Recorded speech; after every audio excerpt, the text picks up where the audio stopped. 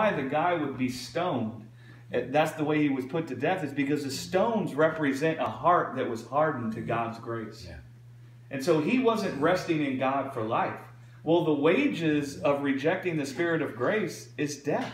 Yeah. And so he was put to death, not because God wanted him to die, but because God was showing them, listen, man, you're believing in something that's killing you. So after that guy dies, because he didn't observe the Sabbath, which means to what? Rest from your works. Right. God says, Moses, tell them to put a little blue thread, blue, the color for what? Grace. Grace. Mhm. Put a little blue thread in the corner of their hem garment so they all the time see that blue thread. And that blue thread all the time reminds them of what? To enter God's rest, which is what the Sabbath was talking about. Yes.